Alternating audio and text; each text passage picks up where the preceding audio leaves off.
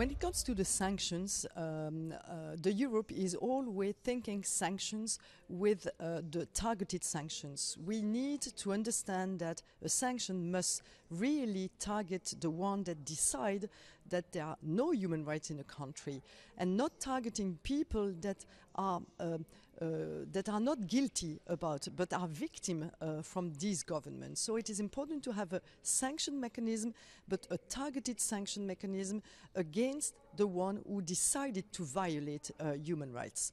And this is really the way Europe uh, needs uh, to work when it comes to the sanction mechanism.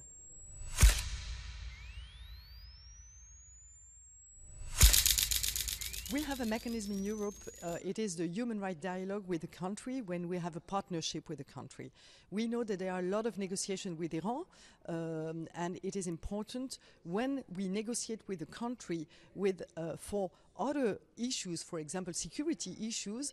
It is also important to engage on the question of human rights. We, as European, we don't have to be shy on asking for human rights uh, in a country and making them understand that, that it is really important for us as it is important to have security, as it is important to have trade for, with a country, it is also important to work on these human rights issues.